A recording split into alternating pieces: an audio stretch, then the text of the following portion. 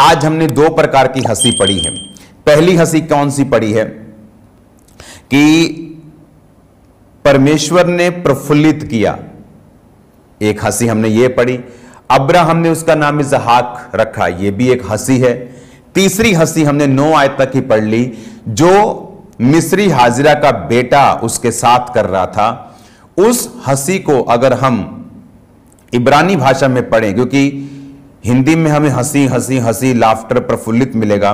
लेकिन इब्रानी भाषा में हमें सही तरह से मिलता है। इब्रानी भाषा में नोआयत में लिखा and Sarah saw son of Hagar the Egyptian which she had born unto Abraham mocking no आयत को पढ़ेंगे।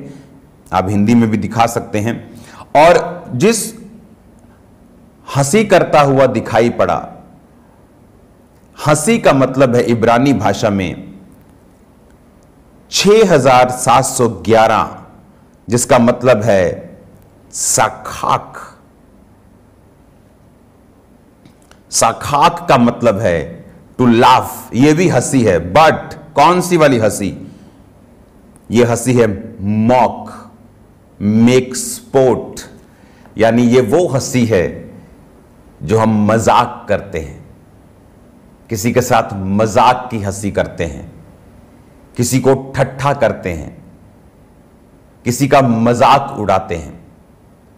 जब वो एक सत्रह साल का जवान लड़का एक छोटे से तीन साल के बच्चे की हँसी करता हुआ दिखाई पड़ा और सारा ने उसे दूर से देखा कि वो हँसी कर रहा है, वो ठट्ठा कर रहा है, समथिंग जो गुड नहीं है।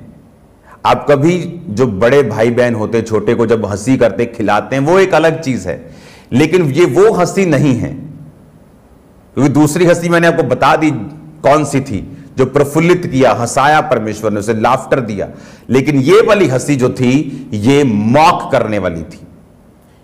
ये हँसी मज़ाक उड़ाने वाली थी, शैतानी हँसी थी। और बाइबल कहती है, जब सारा ने ये हँसी को देखा जब उसने इस इस हँसी को देखा